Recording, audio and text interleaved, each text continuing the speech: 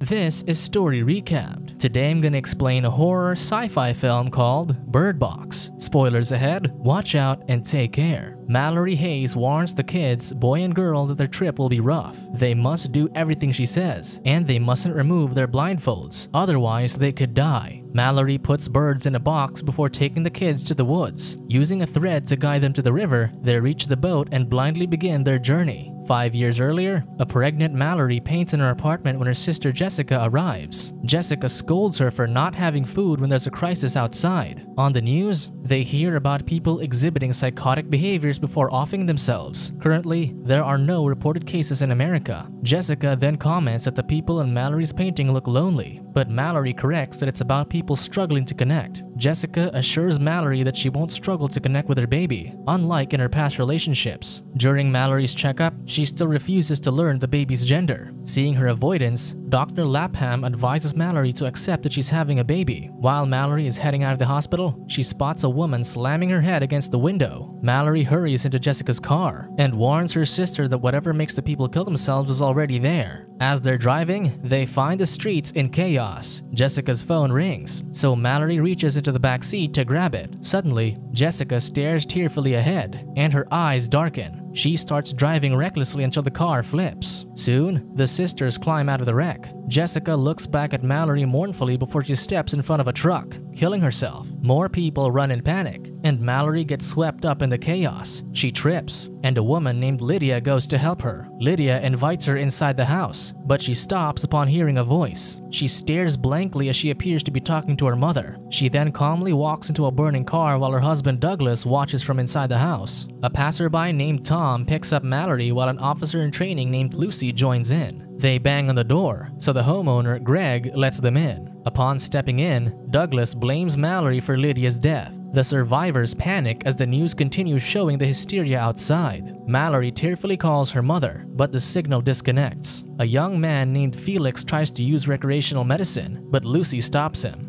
An older woman named Cheryl shares that she heard a presence, but she didn't see it. Tom shares that his coworkers killed themselves upon seeing it, so everyone concludes that seeing the presence makes them off themselves. They then shut the windows to avoid the presence. A supermarket clerk named Charlie worries that humanity is being judged. He theorizes that the entity turns into their worst fears or sadness to drive them into death. He continues that all religions have a version of this entity, and they always mean the end of humanity. However, when Charlie admits that he learned these from the internet for his novel, the others become skeptical. Tom checks on Malorie, but she waves off his concerns. Finally, Malorie breaks and mourns for Jessica. She insists that Jessica would never hurt herself until she saw the entity. Malorie shakes as she recounts how Lydia seemed to be talking to her mother, and Douglas interjects that Lydia's mother died a decade ago. Three days later, they listen to the radio where the host notes that authorities still haven't announced anything about the situation. Suddenly, someone knocks on the door. Douglas refuses to let anyone else in, but the woman begs, so Tom readies to open the door. Suddenly, Malorie grabs Douglas' shotgun and aims. Tom instructs the woman to cover the door with a blanket before they let her in, to avoid the others from seeing what's outside. Once the door is covered, they meet another pregnant woman, Olympia. Olympia shares that she's alone since her husband was deployed in the Air Force last month. She stayed home but ran out of food, so she searched other houses for help. Since there are more people, Malorie stresses that they need more supplies. Greg suggests using the surveillance cameras to see, but Malorie points out that they don't know how powerful the entities are. Still, Greg is confident that it'll work, so he volunteers to try it. They tie Greg to the chair to prevent him from harming himself.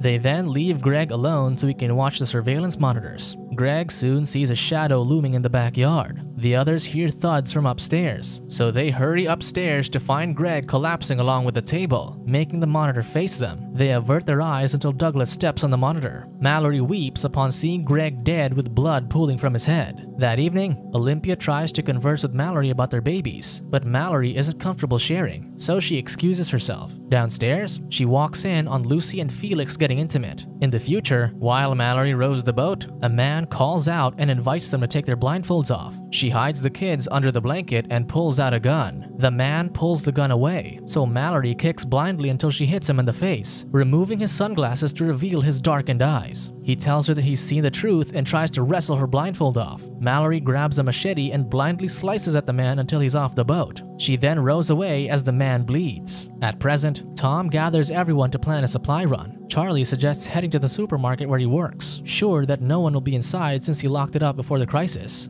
Douglas, Malorie, and Lucy volunteer to go, and Tom insists Charlie has to join since he knows how to open the place. Charlie tries to refuse until Malorie encourages him that it'll be research for his novel. They cover Greg's car windows before driving the car blindly with the GPS guiding them. When they hit a few things on the road, Tom argues that it's just the speed bumps, though everyone is aware they were corpses. Suddenly, the proximity sensor detects something large in front of them. Tom tries to drive around it, but something rumbles behind them. The sensors detect that the car is surrounded. Shadows move around them, so Charlie panics. Malorie quiets him down as they wait for the entity to pass. The entity climbs over the car, so they hold on. Tom speeds away once he sees a chance until they finally reach the supermarket. With blindfolds on, Charlie unlocks the door, and they enter. Seeing the supermarket still intact, the group starts gathering supplies. Tom gathers a few radios and then gives Malorie a pack of diapers for the baby. They swap stories about their families, and Tom wonders if they could have met in any other way. While looking around, Malorie notices birds in cages. A drunken Douglas suggests staying in the market where they have an abundant supply, but the others refuse to abandon the ones left behind. Suddenly, a man knocks and begs to be let in from the back door. Tom the door slightly while Douglas aims the gun. Charlie recognizes the voice as his coworker, Fish Fingers, who's an ex-convict. Fish Fingers warns that some men tricked him. The birds start to panic as a presence grows near. The others push the door close, but Fish Fingers forces it open, urging them to look at the entity. With the others struggling to close the door, Charlie races forward, pushing Fishfinger and himself outside. They listen in horror as Fishfinger forces Charlie to look at the entity, and soon, blood pools from outside. As they leave,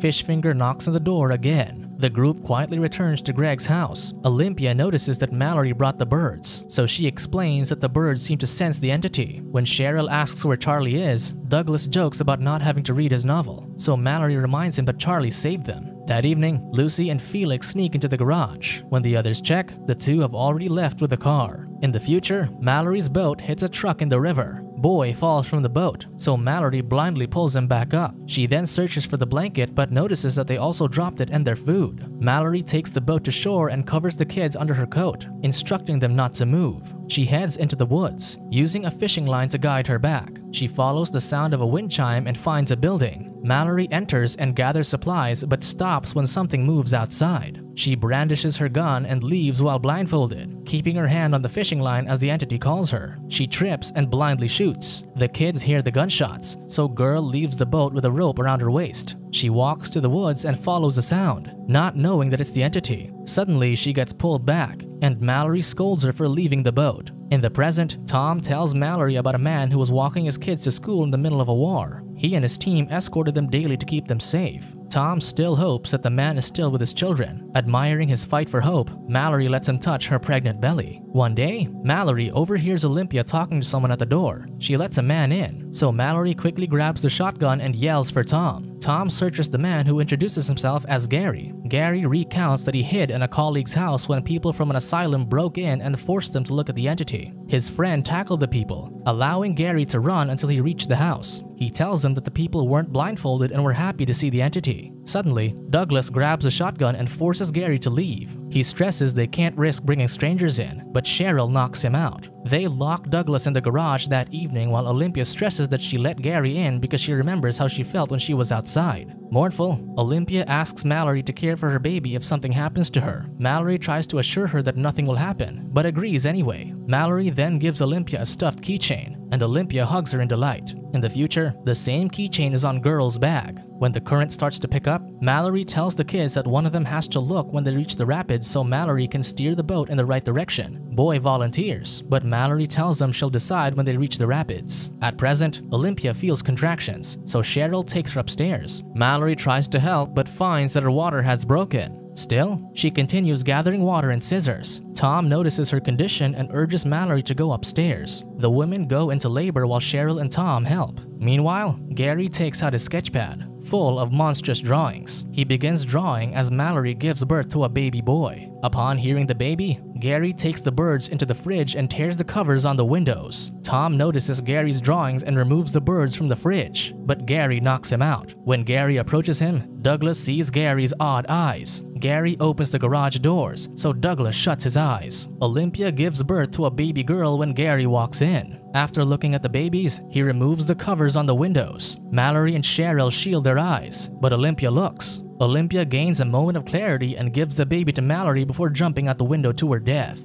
Cheryl desperately reaches out to Olympia, but Gary grabs her and forces her eyes open. Cheryl stabs herself with the scissors upon seeing the entity. Malorie hides under the blanket, and Gary urges her to give him the babies. Suddenly, Douglas arrives with a shotgun. He blindly shoots, hitting Gary in the arm. Gary tackles Douglas out the door, crashing onto the lower floor. Then, he stabs Douglas with scissors. Tom wakes up and tries to grab the shotgun, but Gary pulls it away. Malorie hears two gunshots but remains on the bed with the babies. Finally, Tom arrives and assures her that everything is okay. Five years later, before the river, Malorie trains the children to follow her while blindfolded. Tom continues to try to contact other survivors. One day, Malorie loots for supplies in another house. Two cars arrive outside, so she takes her gun and listens in. After the cars drive away, she returns to their cabin. Malorie shares that she heard the people again, so Tom asserts that they can't go out alone anymore. While checking the supplies she gathered, Malorie suggests using bicycle bells for the children to call for help.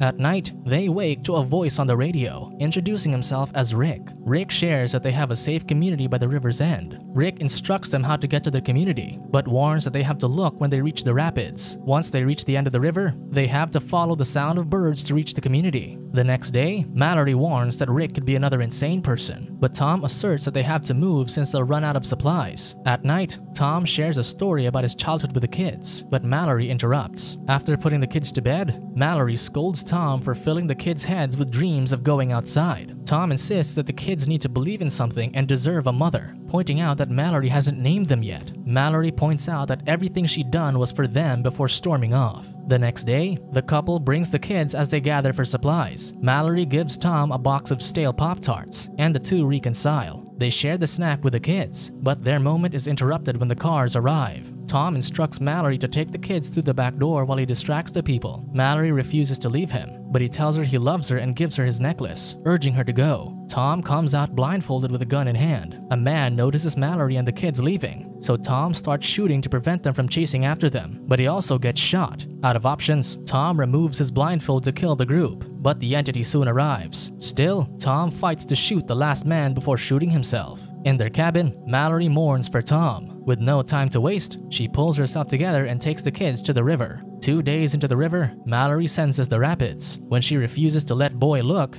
Girl volunteers. Guilt-ridden, Malorie remembers Olympia and Tom, who entrusted the kids to her. Finally, she decides to risk rowing blindly through the rapids. The kids brace themselves as Malorie blindly rows the boat. The waves toss and turn the boat, and eventually they capsize. Malorie desperately calls out to the kids while struggling through the waters. She hears Boy and reaches him. Soon, she hears Girl's bell and finds her on the shore. They hear the birds from afar, but the entity calls Malorie using Jessica's and Douglas' voices. She ignores it, but trips and falls down a hill. The kids call her, but she's unconscious, so they separate while searching for her. When Malorie wakes up, she only finds one of the bells on the ground. Boy rings his bell when he hears Malorie's voice telling him to open his eyes. The real Malorie hears him and urges him not to remove his blindfold. Meanwhile, Girl follows the sound of the birds when she also hears Malorie telling her to remove her blindfold. Malorie begs the entity not to take her children. Boy rings his bell again until Malorie finds him. While searching for Girl, Boy tells her that Girl is scared of Malorie. Malorie apologizes to Girl for being too harsh. She promises to show them many things to give them hope. Girl follows her voice and reunites with them. Malorie hugs the kids, and they continue following the bird sounds. However, the entity uses Tom's voice to distract them. They run away, struggling to hear the birds through the entity's voices. Eventually, Malorie hears the birds again, so she carries the kids until they reach a building. They beg to open the door as the entity comes closer. Eventually, the door opens, and people check their eyes, confirming that they're okay. Rick approaches them and takes them into a room. When Malorie removes her blindfold, she realizes that the building is a school for the blind. Rick, who's blind, takes them to the courtyard where the people live in harmony.